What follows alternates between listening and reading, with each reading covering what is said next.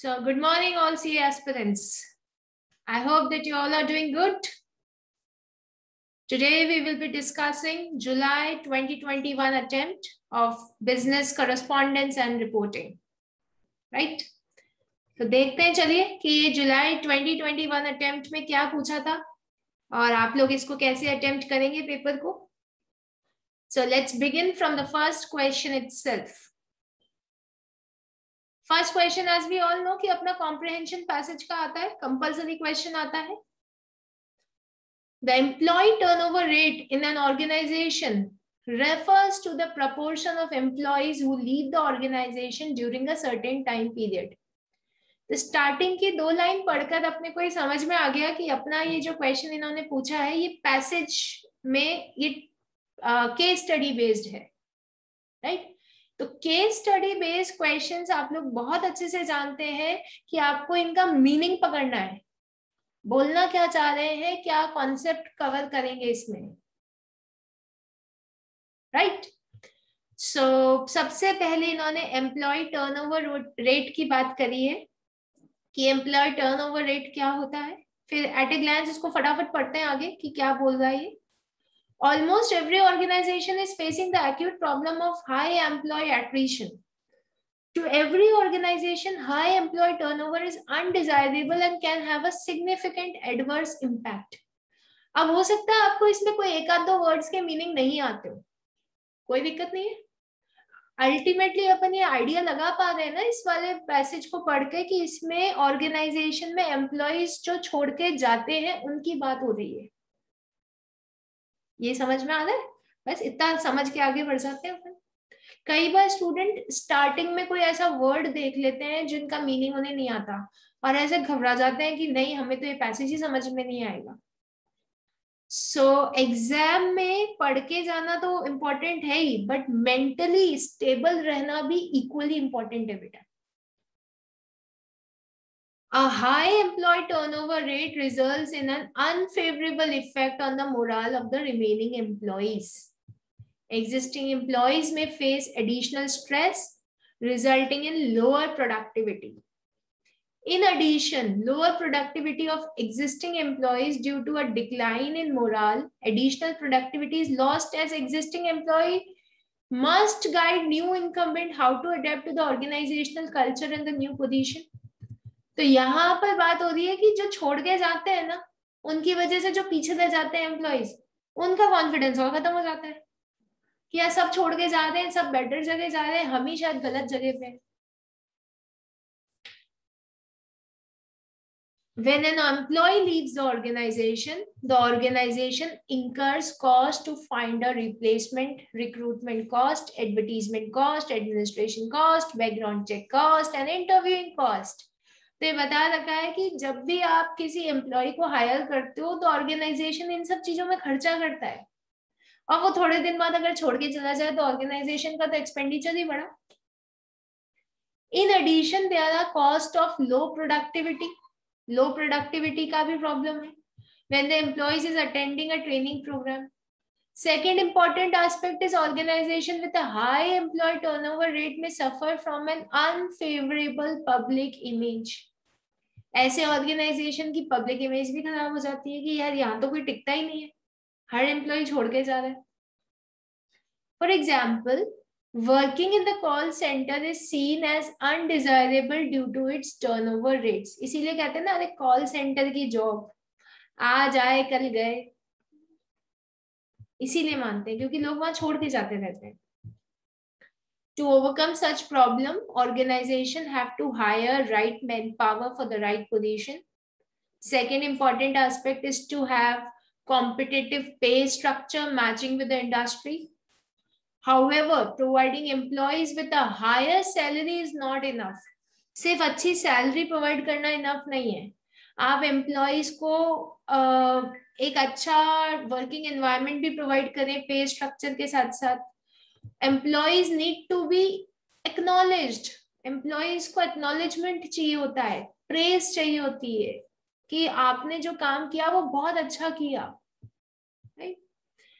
हर employee अपने career में progress करना चाहता है। A career path should be provided to employees to give them a sense of direction and what they can attain if they stay with the organization. उन्हें एक sense of direction मिले कि हम ऐसे काम कर सकते हैं। Last but not the least way to offer flexibility. A flexible working schedule is highly desirable. आपका जो वर्किंग स्केड्यूल है, वो एम्प्लॉय के हिसाब से थोड़ी उसमें फ्लेक्सिबिलिटी होनी चाहिए। एक्सट्रीम लेवल का रिजिडनेस नहीं होनी चाहिए।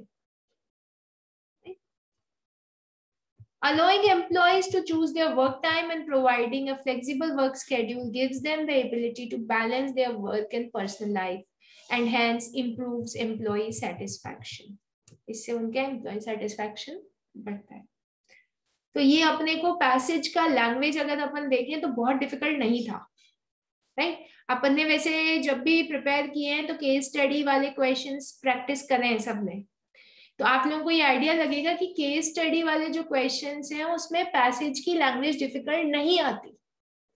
बट पैसेज पढ़ना पड़ता है। वो जो अपना फंडा है ना क्वेश्चन पढ़ो क्वेश्चन के रिलेटेड वर्ड्स पैसेज में ढूंढो, फिर वो आंसर बन गया। वो नहीं मिलेगा। आपको वर्ड्स ढूंढते रह जाओगे, मिल ही नहीं पाएगा। पता है, आप लोगों को सब, अपन ने सब प्रैक्टिस की है ये सब चीज़ें। राइट तो ये एक जेंटल रिमाइंडर है मेरी तरफ़ से कि कॉम्प्रिहेंशन पैसेज को केयरफुली पढ़ लेना बेटा। अपने को पाँच में से पाँच नंबर लाने हैं क्योंकि we are targeting not less than forty So, what do you understand by employee attrition rate? Employee attrition rate से अपन क्या समझते हैं? फ़र्स्ट क्वेश्चन सो जो स्टार्टिंग में ही समझा रखा है इनडायरेक्ट वे में। कि एम्प्लॉय एट्रीशन रेट वो रेट है जो जिस रेट से पर्सन ऑर्गेनाइजेशन छोड़ के जाते हैं। स्टार्टिंग में जो समझा रखा है, जिस रेट से पर्सन ऑर्गेनाइजेशन को से रिटायर होते हैं, छोड़ के जाते हैं या उस पर्टिकुलर पोजीशन को छोड़ देते हैं तो इसको अपन कहते हैं एम्प्लॉय एट्रीशन रेट स्टार्टिंग के तीन चार लाइनों में समझ में आ रहा था? इसी को आपको अपनी लैंग्वेज में समझाना है राइट सो इसमें एम्प्लॉय एट्रीशन रेट से अगर अपन समझें तो एम्प्लॉय एट्रीशन इज़ बेसिकली जहाँ पर एम्प्लॉय परमानेंटली या कुछ टाइम के लिए आपका ऑर्गेनाइजेशन छोड़ देता है। तो अपनी सर्विसेज़ प्रोवाइड नहीं करता राइट तो और कुछ टाइम के लिए भी छोड़ता है तो अल्टीमेटली लॉन्ग ड्यूरेशन में परमानेंटली छोड़ता ही छोड़ता है। तो that is employee attrition rate समझा सकते हैं अपन इसको? नेक्स्ट क्वेश्चन है explain the ways to reduce high employee attrition ये जो एम्प्लॉय छोड़ छोड़ के जा रहे हैं तो इसको अपन कैसे रोक सकते हैं? तो पैसेज से अगर अपन निकालें तो अपने ये सारे अलग अलग तरीके से इन्होंने आंसर दे रखे थे। देखिए।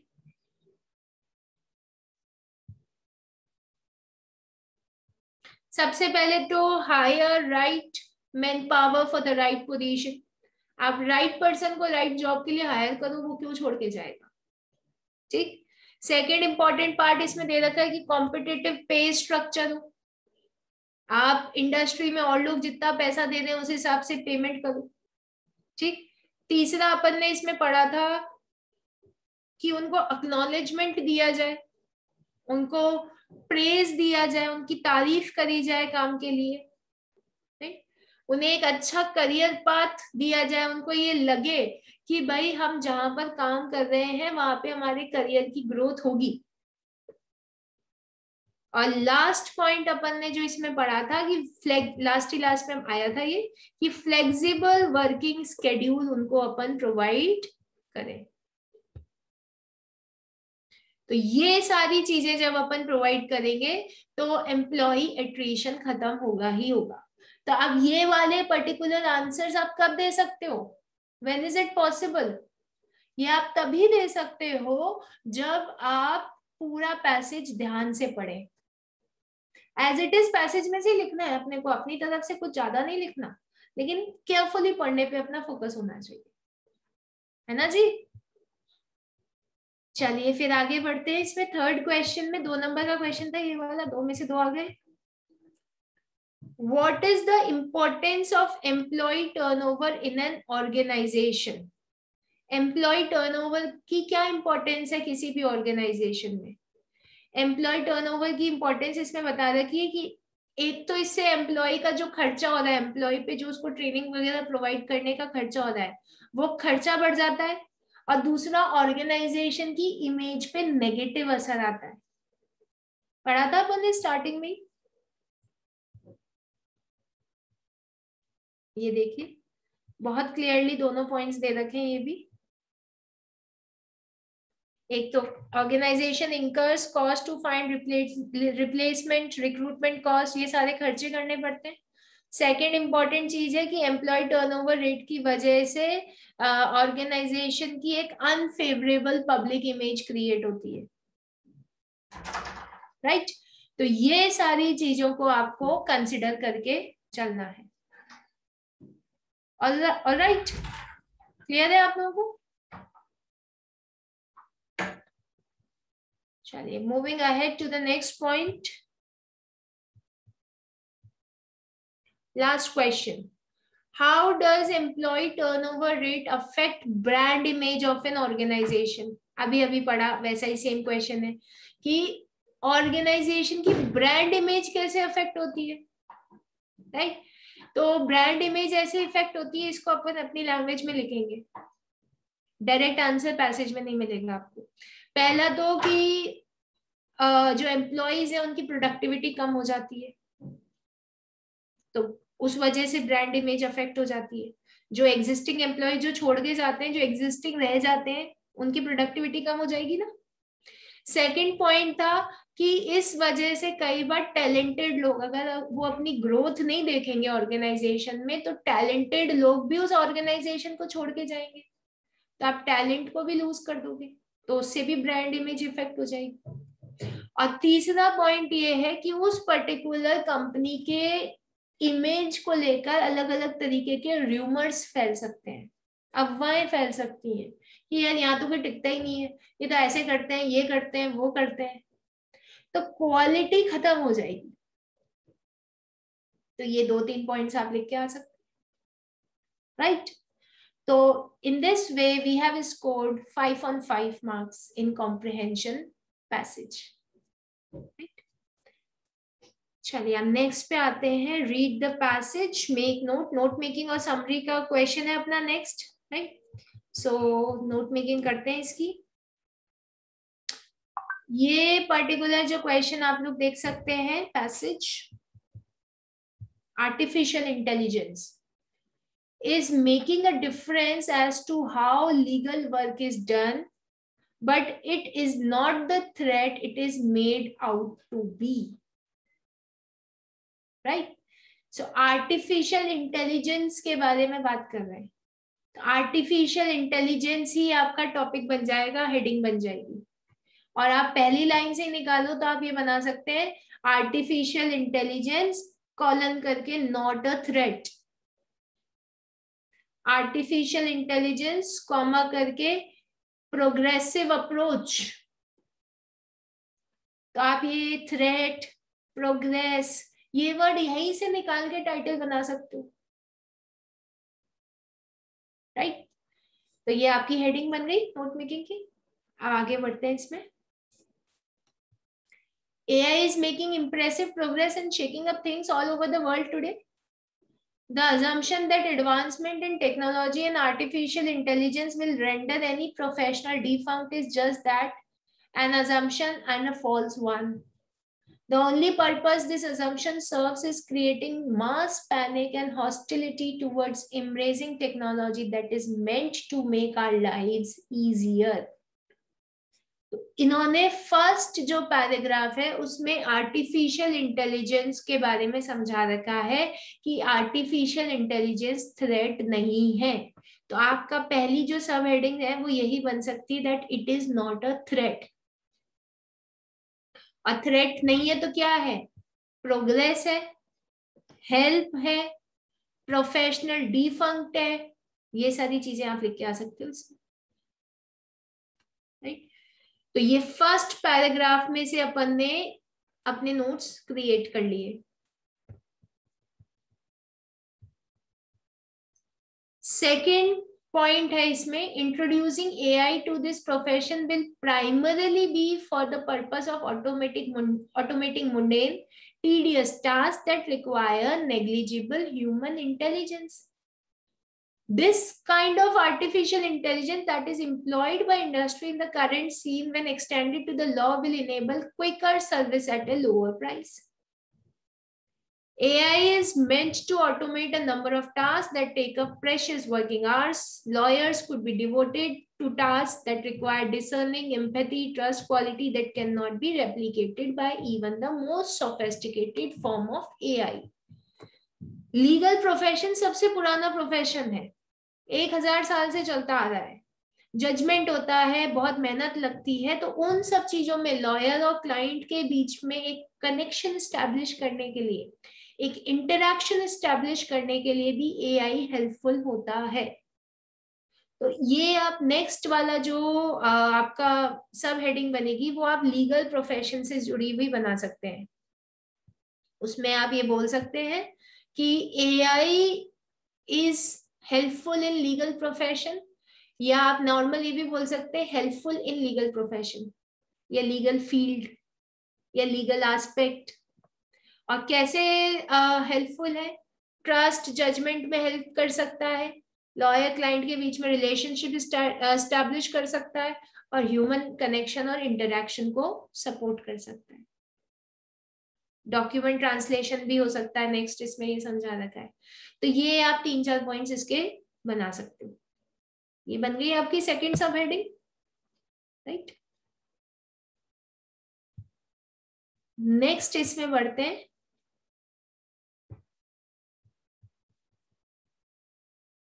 Uh, pertaining to cases for analysis, helping decision making, scanning and organizing documents pertaining to case. It can perform, cannot perform higher level tasks such as sharp decision making. अब आप third जो अपनी सब heading बनाओ उसमें ये बता सकते हो कि AI perform क्या नहीं कर सकती What AI can not perform ये आपकी थर्ड सब हेडिंग बन सकती है तो उसमें आप ये बता सकते हो कि हायर लेवल टास्क नहीं हो सकते शार्प डिसीज़न मेकिंग नहीं हो सकती।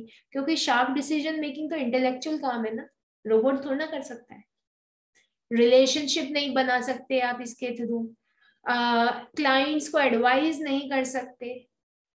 Right so these are over and above the realm of computerisation तो ये सारी चीज़ें ऐसी हैं जो कंप्यूटराइजेशन के बियॉन्ड है। उसके दायरे से बढ़कर है। राइट? तो ये आपका थर्ड सब हेडिंग बन गई। अब इन्हीं सब हेडिंग्स के बेसिस पर आपने शॉर्ट में की नोट बनाएँगे आप लोग। सो की नोट आप लोग ध्यान रखेंगे कि सभी लोग स्पेसिफिकली जैसे यहाँ बना के बताते हैं आपको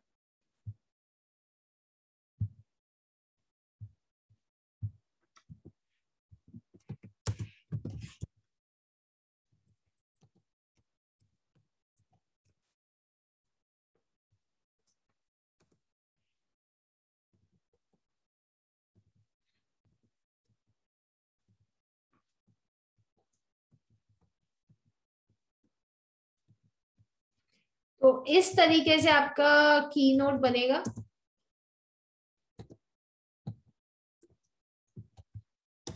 राइट और की नोट में आप लोग एब्रिविएशन लिखेंगे। अराउंड सेवन एट एब्रिविएशन आप लिख कर आ सकते हैं। उससे ज़्यादा टेन तक भी ले जा सकते हैं इस पैराग्राफ में। बॉक्स पे बनाएँगे प्रॉपर राइट तो इस पूरे काम के ही आपको तीन नंबर मिलेंगे। अब बचे हुए जो दो नंबर है, उसकी आप क्या करेंगे? समरी बनाएँगे। ठीक? तो अभी अभी अपन ने जो तीन बातें पढ़ी कि आर्टिफिशियल इंटेलिजेंस क्या होती है लीगल एस्पेक्ट में कैसे सपोर्ट करती है और क्या इसके ड्रॉबैक्स है। ये तीन पॉइंट्स बनाए थे अपन ने नोट मेकिंग में। इन्हीं तीनों पॉइंट्स को आप समराइज वर्जन में पैराग्राफ में लिख देना। Right right? समरी में आपको वन थर्ड लिखना है ऑफ़ द पैसेज तो आपने उसी को अपनी लैंग्वेज में लिखा आर्टिफिशियल इंटेलिजेंस ये होती है लीगल फ़ील्ड में ऐसे ऐसे सपोर्ट करती है और ड्रॉबैक्स इसके ये हैं, जो अभी अभी नोट बनाए वही पॉइंट्स बन गई समझ आपको? मिल गए पूरे दो नंबर तो इन दिस वे आपके पूरे टोटल पाँच नंबर की नोट मेकिंग कवर हो गई और दस में से दस नंबर आ गए। इजी है ये तो कोई दिक्कत नहीं है इसमें तो। राइट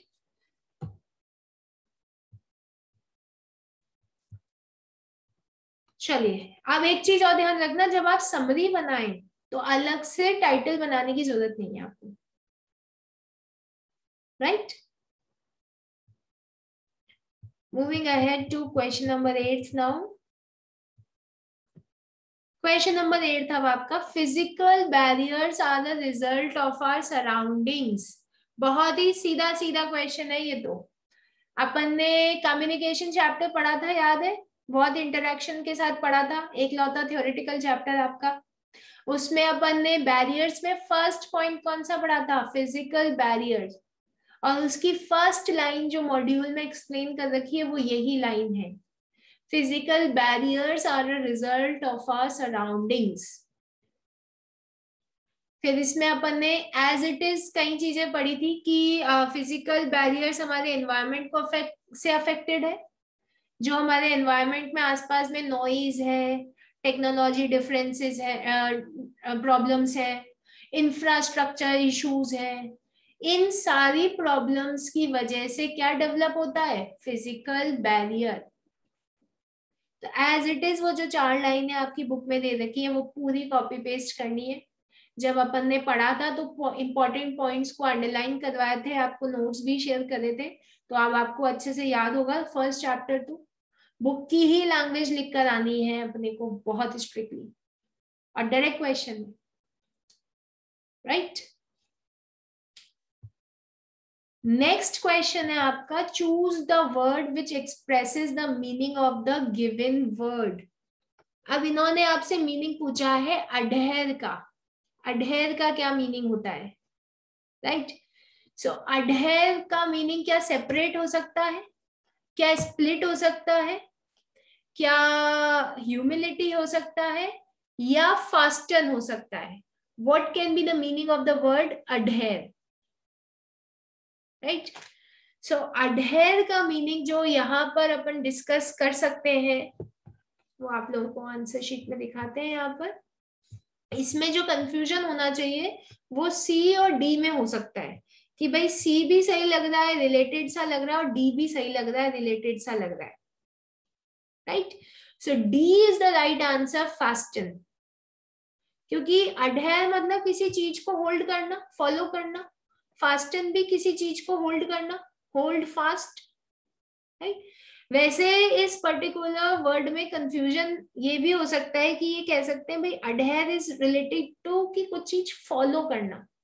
तो फॉलो तो ह्यूमिलिटी से रिलेटेड भी हो सकता है राइट तो उस लॉजिक से ये सी भी सही मान सकते हैं बट इसका absolute correct answer will be D fasting right second इन्होंने आपसे एंटोनिम पूछा है of the word candid candid word का antonym so candid is the meaning of the word candid is frank meaning होता है इसका फ्रैंक लेकिन अपने को इसको ऑपोजिट बताना है. तो ऑपोजिट होगा इसका डिसेप्टिव। धोखा देना डिसी मतलब आप जो बोल रहे हो, उससे आप, उस चीज़ से आप मीन नहीं कर रहे हो। आप बोलना कुछ और चाह रहे हो, करना कुछ और चाह रहे हो। फ्रैंकनेस नहीं है ट्रांसपेरेंसी नहीं है। So candid means frank frank का उल्टा fraud kind of thing so deceptive right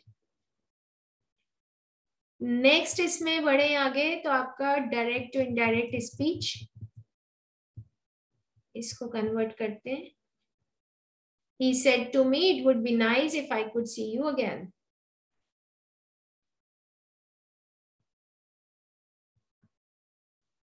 बहुत इजी है ये वाला कन्वर्जन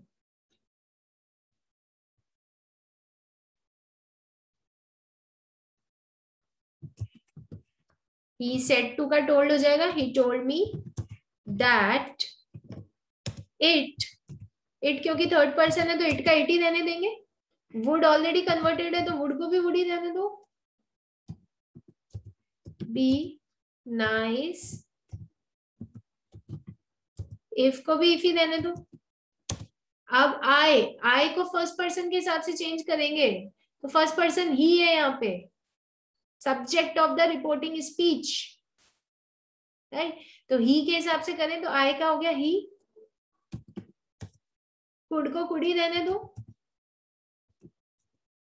सी को सी रहने दो। यू यू सेकंड पर्सन है। सेकंड पर्सन को अपन ऑब्जेक्ट के हिसाब से चेंज करते हैं। तो ऑब्जेक्ट है आपका मी सी मी तो इस पर्टिकुलर वर्ड में आपको क्या चेंज करना हुआ? इस पर्टिकुलर सेंटेंस में क्या चेंज करना हुआ? सिर्फ़ और सिर्फ़ प्रोनाउन आपने सिर्फ़ प्रोनाउन चेंज किया है, बाकी और एक कनेक्टिव लगाया है दैट अदरवाइज़ पूरा सेंटेंस सेम है आपका. इजिएस्ट एवर सेंटेंस इसको लिखने में दो तीन सेकंड लगेंगे, आपको बस उतना ही टाइम लगाना, एक नंबर मिल गया इस चीज़ का सो so, ग्रामर तो ऐसी चीज़ है जो अपन ने प्रैक्टिस भी करी है बुक का एक एक सेंटेंस किया है सैंपल्स अच्छे से करे हैं अदरवाइज़ ऑल्सो अपन ने रूल्स के लिए चार्ट बनाए हैं सारी चीज़ें सीखी हैं लंबा टाइम लिया था ग्रामर पढ़ने में तो इस चीज़ में तो कहीं से कहीं तक नंबर नहीं जाएँगे आपके पूरे नंबर मिलेंगे right right? Next is write a précis and give an appropriate title to the passage.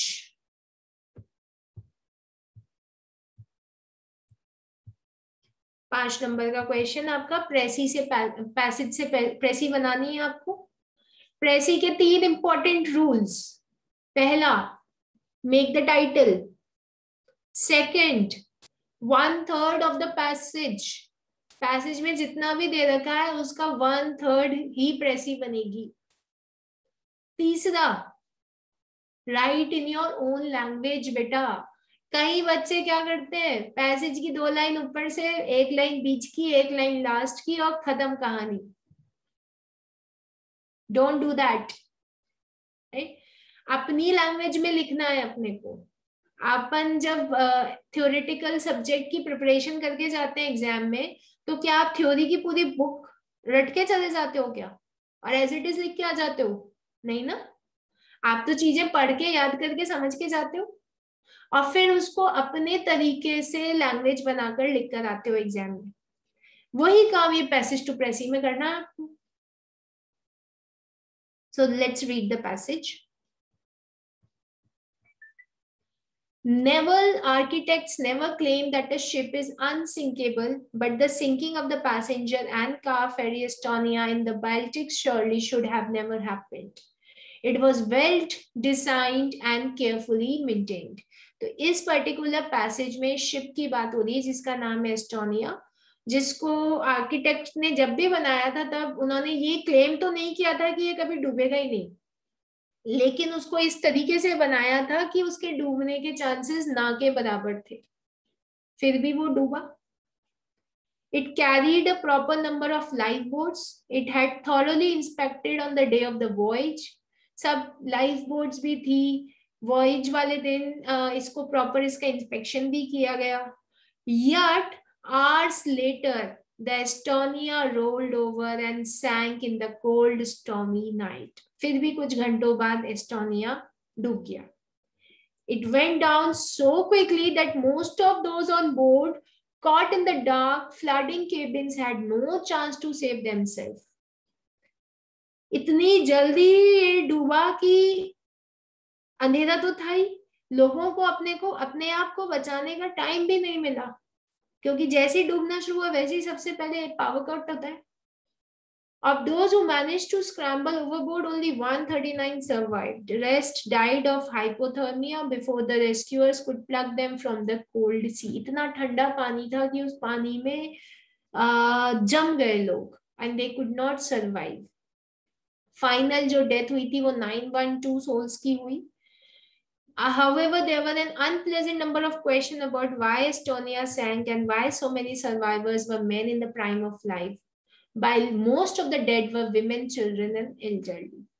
तो ज़्यादातर जो लोग बचे वो मेन थे और ज़्यादातर लोग जो खत्म हुए उसमें बच्चे थे विमेन थी और एल्डरली लोग थे ये पूरा पैसेज बोल रहा है तो अब इस पैसेज की जब अपन यहाँ बात कर रहे हैं तो सबसे पहले तो इसके टाइटल पे बात करते हैं। टाइटल टाइटल में आपको कहीं ना कहीं बेसिक चीज़ें कवर कर लेनी चाहिए। तो जैसे एस्टोनिया शिप का नाम द डेडली वॉइज ये हो सकता है? Estonia the deadly voyage right और बना सकते हैं Estonia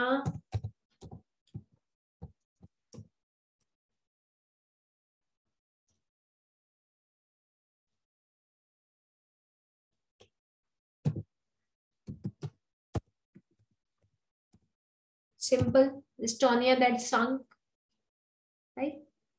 या फिर an unbelievable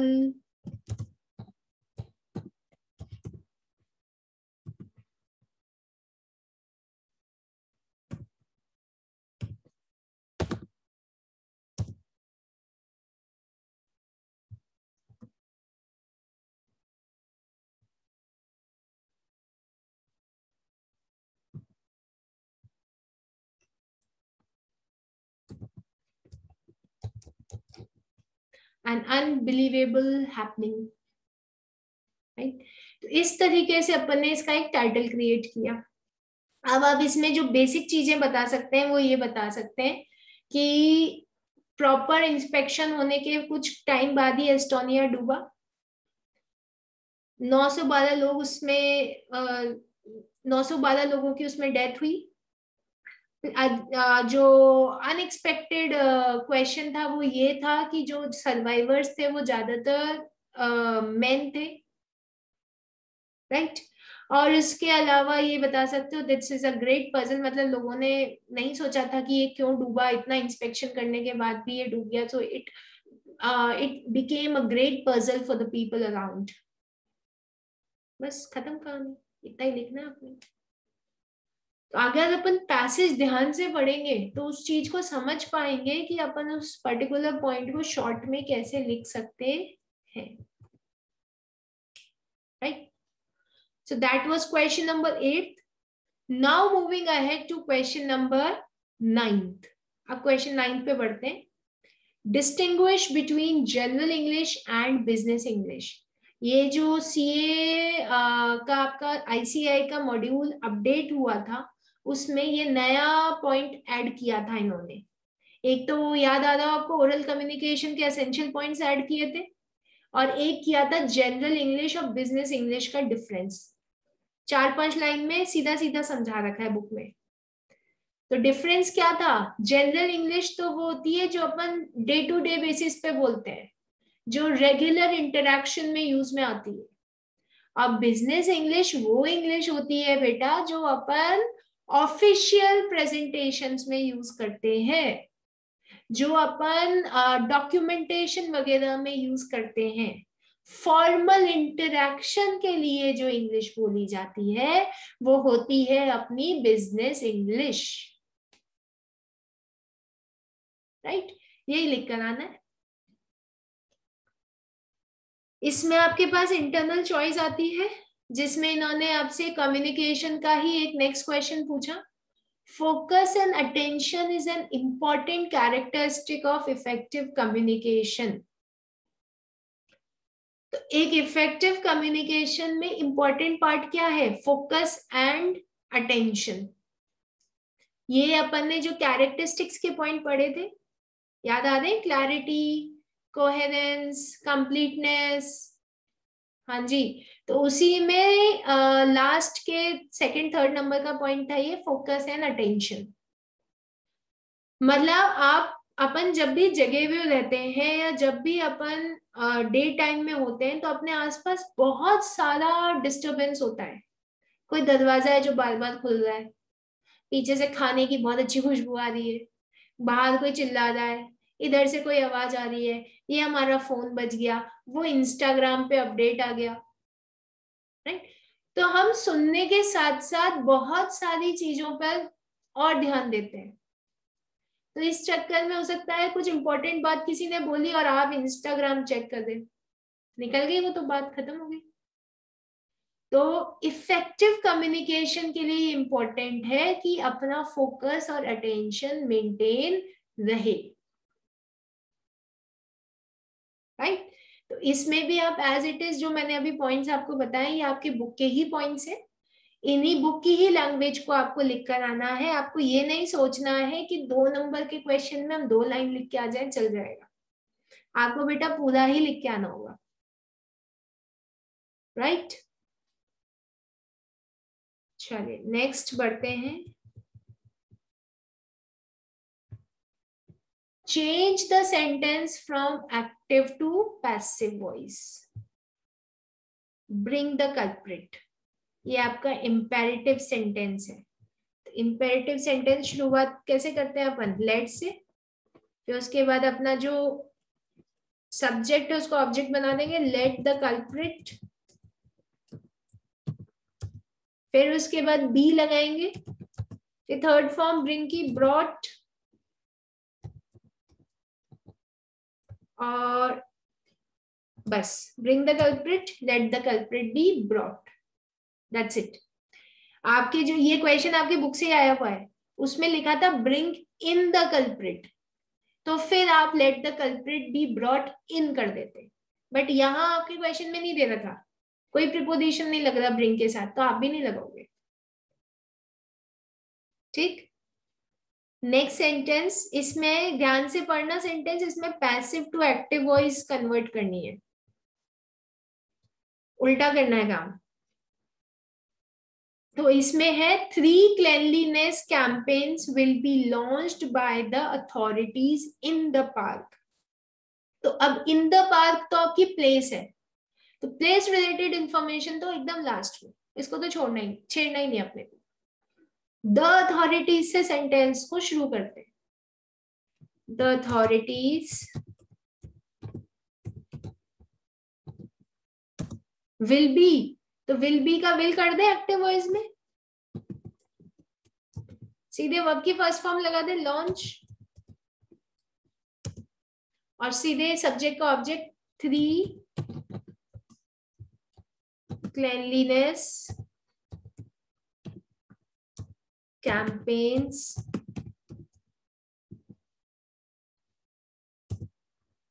in the park.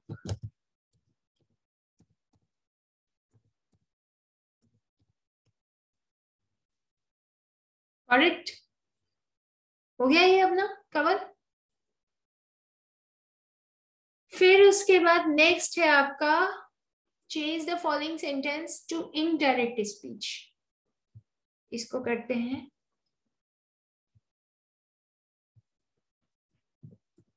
The group shouted honesty is the best policy right तो ये तो यूनिवर्सल ट्रूथ है। यूनिवर्सल ट्रूथ को तो नहीं चेंज करते हम। तो सेम ही लिख दो। Honesty is the best policy simple हो गया तीन नंबर मिल गया फटाफट से। पूरे कहीं से कहीं तक नहीं कटे। फिर नेक्स्ट बढ़ते हैं अपन।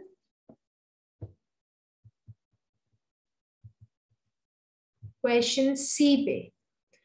क्वेश्चन सी है आपकी draft newspaper report on the government's decision to open multiplexes after almost a year to be published in a national newspaper right तो अब ये वाली न्यूज़ तो अपन ने इतनी पढ़ी है अखबारों में कि अब ये मॉल्स खुल गए, अब ये खुल गया, इतने टाइम बाद ये खुला। तो ये तो एब्सोल्युटली रोज पढ़ी होगी आपने ये न्यूज़ तो। उसी को लिख कर आनी है, बिल्कुल अपडेटेड चीज़ें पूछते हैं ये रिपोर्ट राइटिंग्स में। राइट तो और इन्होंने ये भी बता दिया कि आपको ये किसमें बनानी है? ये आपको न्यूज़पेपर फॉर्मेट में बनानी है। तो न्यूज़पेपर फॉर्मेट में आप इसको जब बनाएँगे तो सबसे पहले तो सेंटर में आप टाइटल लिख लीजिए।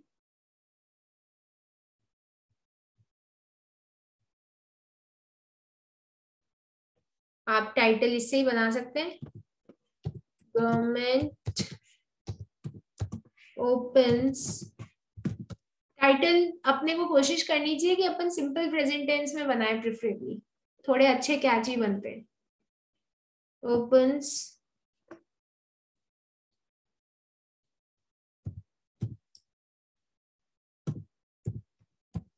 multiplexes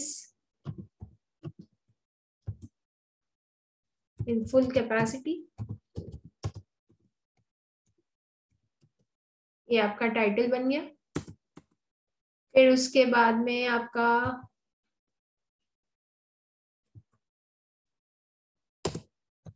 नीचे से आप लिखना शुरू करेंगे। टाइटल आपका सेंटर में आना चाहिए।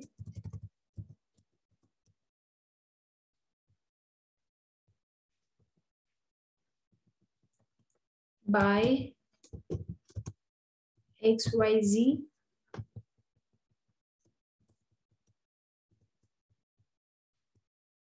फिर उसके बाद आप जैसे इसमें प्लेस नहीं दे रखी तो प्लेस आप अज्यूम कर लो जयपुर। डेट नहीं दे रखी तो डेट भी आप अज्यूम कर लो। ट्वेल्थ दिसंबर मान लो। और फिर लिखना स्टार्ट कर लो सेम लाइन से। राइट तो ये आपका फॉर्मेट हो गया। अब इसमें आप क्या क्या चीज़ें इंक्लूड कर सकते हो? इसमें आप ये बता सकते हो कि भाई गवर्नमेंट ने इतने टाइम बाद डिसीज़न लिया ओपन करने का फुल कैपेसिटी में ओपन किया है। फिर उसके बाद जो कोविड के प्रोटोकॉल्स हैं, वो फॉलो किए जाएँगे। सोशल डिस्टेंसिंग का स्पेशल ध्यान रखा गया है।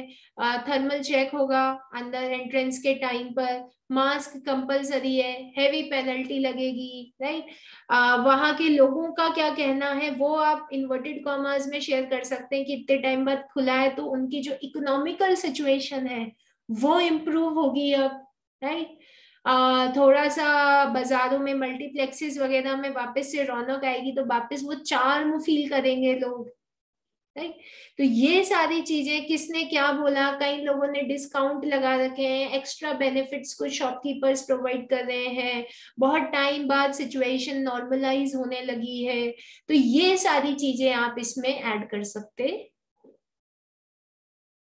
राइट तो ये बनेगी आपकी न्यूज़पेपर रिपोर्ट का format. I hope that this is clear to everyone. Moving ahead to question number 10th. Write essentials of oral communication. Oral communication के essential points. तो ओरल कम्युनिकेशन के इसेंशियल पॉइंट्स अपने book में as it is दे रखे हैं, अगर आपको याद है। ये भी नया ऐड हुआ था मॉड्यूल में और नए एडिशन में से क्वेश्चन सीधे पूछ लिए इन्होंने। ओरल कम्युनिकेशन में सबसे पहले इसेंशियल में कौन सा पॉइंट दे रखा था? प्रोनाउंसिएशन प्रोनाउंसिएशन के बाद कौन सा दे रखा था? लिसनिंग एंड कॉन्वर्सेशन याद आ रहा है? लिसनिंग एंड कॉन्वर्सेशन के बाद क्या दे रखा था? Spoken grammar vocabulary, noticing language, presentation face to face interaction presentation की भी वो नीचे पॉइंट्स दे रखे हैं कि 20 मिनट से ज़्यादा की नहीं होनी चाहिए 15 से ज़्यादा स्लाइड्स नहीं होनी चाहिए 15-20 से ज़्यादा। आप किसी स्टोरी के साथ शुरू करो प्रेजेंटेशन जब आप दे रहे हो तो। तो ये सारी चीज़ें आपको ओरल कम्युनिकेशन के एसेंशियल पॉइंट्स में लिख कर आनी राइट right? फिर उसके बाद में नेक्स्ट है आपका change the sentence from active to passive voice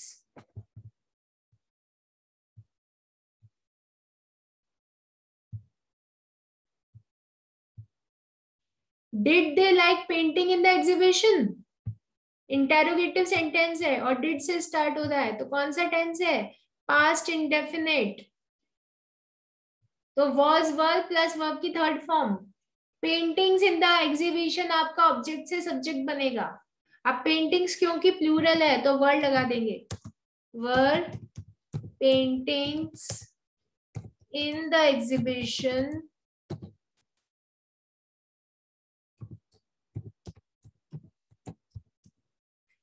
फिर उसके बाद वर्ब की third form liked by them that's it were paintings in the exhibition liked by them बन गया खत्म काम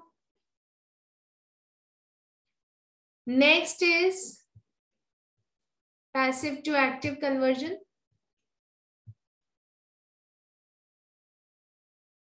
food from roadside vendor should not be eaten during covid pandemic as a safety precaution ये आपके book का ही question है book में किया था ना food should not be food from road side vendor should not be eaten अब इसमें इन्होंने आपको ऑब्जेक्ट नहीं दे रखा। तो आपको बता रखा है कि जब पैसिव वॉइस में ऑब्जेक्ट गिवन नहीं हो तो अज्यूम कर लेना, क्योंकि वही ऑब्जेक्ट सब्जेक्ट बनेगा। तो आप इसमें वी दे शी ही कुछ भी चिल्ड्रन कुछ भी अज्यूम कर सकते हैं। अपन ने वी मान लिया। वी शुड शुड को शुड ही रहने देंगे मॉडल चेंज नहीं करते। नॉट और फिर सीधे वर्क की first form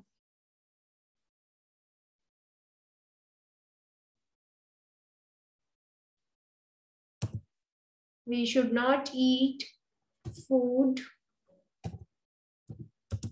from roadside vendors vendor ही है तो अपन वेंडर लिखेंगे और फिर आगे का लाइन सेम हो जाएगी आपकी during covid pandemic as a safety precaution तो जब भी पैसिव वॉइस में ऑब्जेक्ट गिवन नहीं है तो अज्यूम कर लेंगे। ठीक है? नेक्स्ट आपका सेंटेंस है change the following sentence into indirect speech indirect speech में चेंज करना है इसको। Mister X to the cashier do you have change for five hundred rupees तो इन्होंने पूछा है कैशियर से।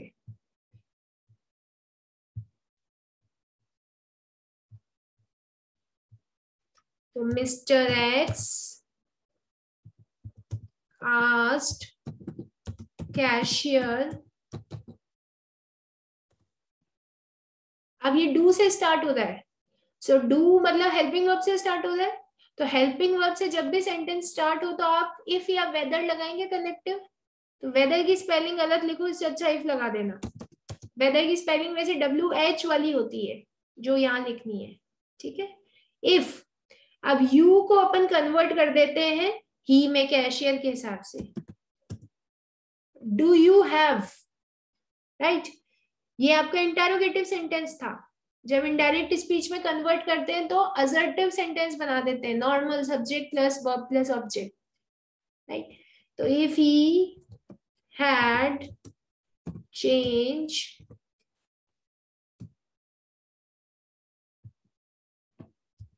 had यहाँ पे आपकी मेन वर्ब है, ठीक है? तो ये अपन ने पढ़ा, ये प्रेजेंट इंडेफिनेट को पास्ट इंडेफिनेट में कन्वर्ट करते हैं तो पास्ट इंडेफिनेट में किया है? हैव की सेकंड फॉर्म हैड होती है राइट मेन वर्ब का काम कर रही है। Change for five hundred rupees That's it. And the next question, write an article of about 250 words on the topic COVID certificate must for attending parliamentary session. तो इसमें आपको आर्टिकल राइटिंग जो मैंने सिखाई है आप लोगों को तो उसमें आप लोगों को यही बताया है शुरू से कि आर्टिकल लिखने से पहले आप बुलेट पॉइंट्स खुद के बनाइए। Right right? तो जब आपके बुलेट पॉइंट्स कवर हो जाएँगे ना, कि ये आठ दस पॉइंट्स अपने बन गए, सारा दिमाग आपका उन बुलेट पॉइंट्स में ही लग जाना चाहिए। तो जब आपका वो कवर हो जाएगा तो उस बेसिस पर इजीली आप लोग आर्टिकल कन्वर्ट कर लेंगे। तो सबसे पहले तो आपका टाइटल बना दीजिए। Right so covid certificate must for attending parliamentary session ये सेम टाइटल नहीं बनेगा। आपको अलग बनाना पड़ेगा। सेम कॉपी पेस्ट करने के मार्क्स थोड़ा मिलेंगे अपने को। सो so, आप इससे रिलेटेड बना दीजिए। कोविड नेगेटिव रिपोर्ट ऐसे लिखो कॉलन लगाकर। इंपॉर्टेंट फॉर पार्लियामेंट्री सेशंस या important to attend parliamentary session ठीक? तो इसी को गोलमोल करके लिखना हमने को आर्टिकल फिर उसके बाद आप स्टार्टिंग में ये अपनी तरफ़ से आर्टिकल लिख रहे हैं तो आर्टिकल में आप अपना थॉट प्रोसेस भी शेयर कर सकते हैं। तो आप ये बता सकते हैं कि भाई कोविड सर्टिफिकेट मस्ट है, जो भी पार्लियामेंट सेशन अटेंड करेंगे, चाहे लोकसभा का हो, चाहे राज्यसभा का हो राइट फिर उसके बाद आप ये बता सकते हैं कि कोविड की जो रिपोर्ट है वो 24 फोर आवर्स या 48 आवर्स या 72 आवर्स से पुरानी नहीं होनी चाहिए। तो रूल तो ये है कि 72 आवर्स से पुरानी नहीं होनी चाहिए। राइट फिर उसके बाद ये जो गाइडलाइंस है, ये सेंट्रल गवर्नमेंट के कंसल्टेशन में इशू करी है। इन गाइडलाइन से अपन कोविड के जो भी प्रोटोकॉल्स हैं, उनको फॉलो कर पाएँगे। इसके स्प्रेड को रोक पाएँगे। मिनिस्टर्स अगर सेफ़ रहेंगे तो फर्दर अच्छा एक मैसेज कन्वे हो पाएगा। राइट? इस प्रोटोकॉल को स्ट्रिक्टली फॉलो करना है। स्ट्रिक्ट कंप्लाइंस इसकी नोटिस करी है। इसके साथ साथ ये भी देखा जाएगा कि जो भी मिनिस्टर्स हैं मेंबर्स हैं, वो मास्क पहने सोशल डिस्टेंसिंग का स्पेशल ध्यान रखा जाएगा। हैंड हैंड सैनिटाइजेशन का स्पेसिफिक ध्यान रखा जाएगा। पार्लियामेंट सेशंस में हार्ड कॉपीज यूज़ नहीं करी जाएँगी, क्योंकि हार्ड कॉपीज तो एक दूसरे से एक्सचेंज करनी पड़ती है। सॉफ्ट कॉपीज के थ्रू ही इंटरेक्शंस होंगे। तो ये सारी चीज़ें आपको बेसिकली कोविड से रिलेटेड जितना अपन ने ज्ञान पाया है लॉकडाउन में, वो सारा का सारा यहाँ लिखना है आपको। इस कॉन्टेक्स्ट में लेकिन। तो मैंने अभी जो भी आपसे बातें शेयर करी, वो सारी चीज़ें अगर आप एक्सप्लेन करके लिखेंगे तो आपके फुल मार्क्स आर्टिकल राइटिंग में आ जाएँगे, कहीं नहीं घटेंगे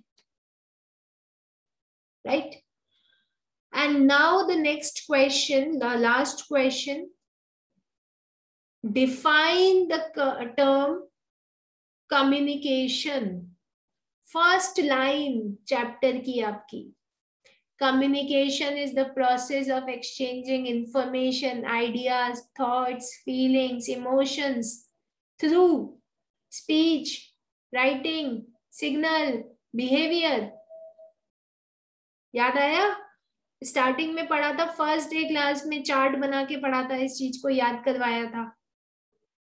राइट फिर नेक्स्ट इज़ वे फिर इसमें आप वो सेंडर रिसीवर वाला पॉइंट भी पूरा लिख कर आओगे। वो जो आठ पॉइंट लिखवाए थे ना हमने सामने सेंडर एनकोड करता है मैसेज बनाकर चैनल के थ्रू रिसीवर को देता है। रिसीवर डिकोड करके उसका फीडबैक देता है, वो भी चैनल के थ्रू वो पूरा कम्युनिकेशन का टर्म समझाना पड़ेगा। और जब ये पूरा कम्युनिकेशन इस तरीके से होगा और लिसनर इसको प्रॉपरली समझेगा इफेक्टिवली समझेगा तो कम्युनिकेशन हमारा इफ़ेक्टिव होगा। तो ये पूछा इन्होंने दो लाइन में है, लेकिन स्टार्टिंग का जो पैराग्राफ आपको फ़र्स्ट पैराग्राफ जो आपका कम्युनिकेशन का दे रखा है, वो पूरा आएगा। इफ़ेक्टिव कब होगा? जब लिसनर ध्यान से सुनेगा और नीचे जो डायग्राम बना हुआ है आपके मॉड्यूल में ए ने बी को मैसेज दिया बी ने ए को रिस्पॉन्स दिया। वो बना कर आओगे। तो ऑल दो दो नंबर में पूछा है बट स्टिल आपको ध्यान रखना है कि एक्सप्लेनेशन पूरा होगा, वरना मार्क्स नहीं मिलेंगे बेटा। ठीक है? नेक्स्ट क्वेश्चन है आपका।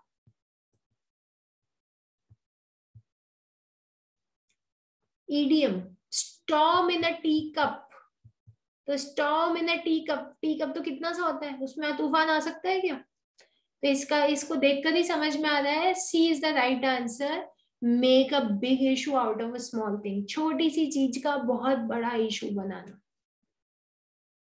Right next is core competency core competency भी आपके बुक का ही पूछा है इन्होंने.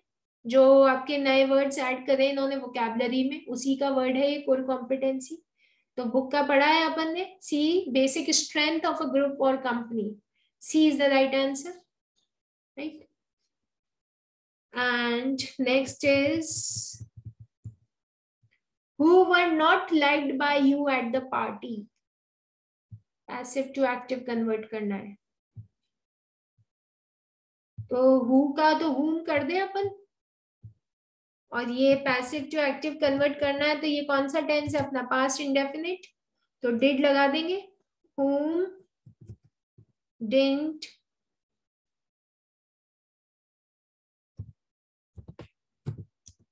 you like at the party? और अगर आप डिड और नॉट अलग अलग लगाना चाहो तो वो भी कर सकते हो। Whom did you not like at the party? Simple था बहुत ही right moving ahead to the meaning of the word fiasco. So इसका meaning failure D is the right answer और लास्ट आपका इन्होंने पूछा है right a letter to your landlord him to reduce rent in the light of COVID nineteen pandemic तो इसमें आपको as a tenant letter लिखना है लैंडलॉर्ड को। राइट तो आप इसमें सबसे पहले टेनेंट लिखकर अपना एड्रेस लिख देंगे। सेंडर्स एड्रेस रिसीवर कौन है? लैंडलॉर्ड तो लैंडलॉर्ड लिखकर उनका एड्रेस लिख देंगे। राइट फिर उसके बाद डियर सर करके आप स्टार्ट करेंगे सब्जेक्ट लिखेंगे। Request to reduce rent in the light of COVID nineteen pandemic फिर उसके बाद आप स्टार्टिंग ऐसे कर सकते हैं that as you are aware या as you know that the current situation of COVID-19 is affecting the economic situation of the people. कि जैसा आप जानते हैं कि कोविड 19 की करंट सिचुएशन करंट जो स्टेट है वो इकोनॉमिक सिचुएशन अफेक्ट कर रही है और ये पूरी कंट्री में फैला हुआ है। इसका असर अपनी कंट्री पे भी आया है। पूरे वर्ल्ड में फैला हुआ, अपनी कंट्री पे भी असर आया है इंडिविजुअल्स पे भी असर आया है। जिस कंपनी में मैं एम्प्लॉयड हूँ, वहाँ पर इन्होंने फिफ्टी परसेंट ही पेमेंट दे रहे हैं लोग सैलरी का। तो इस वजह से मेरी इनकम कम हो गई है। मेरे जो और रिस्पॉन्सिबिलिटीज हैं और जो लाइबिलिटीज है, वो एज इट इज़ है। लोन्स वगैरह जो चल रहे हैं। तो इसलिए मैं, मेरी आपसे रिक्वेस्ट है कि आप मेरा रेंट टाइम बीइंग के लिए इसमें रिड्यूस कर दें। और I will be really grateful to you ठीक है? And we look forward to a positive reply thanking you फिर आप अपना नाम नाम your yours faithfully your sincerely yours truly कुछ भी लिख सकते हैं और फिर अपना नाम लिख सकते हैं। Right right? सो so, इस तरीके से आप ये पर्टिकुलर लेटर ड्राफ्ट करेंगे। So this was the explanation of our July 2021 attempt तो इस पूरे पेपर को अपन ने सॉल्व किया है। आप लोग अब इसको बहुत इजीली कर पाएँगे। एग्ज़ाम में इस तरीके का पैटर्न आएगा आपका। Just make sure that you are revising well along with a proper revi, revision, also make sure that you're keeping yourself calm and composed. That is very important. Right? तो stable रहना बेटा presence of mind रखना absolute confidence के साथ जाना, अपन ने हर एक चीज़ की प्रैक्टिस करी है। We have not left a single thing from the module तो आप लोगों को कहीं से कहीं तक घबराने की ज़रूरत नहीं है। You all have prepared nicely So in that context, all the very best to each one of you and you will come up with the flying colors. I am confident. So thank you everybody. Good day.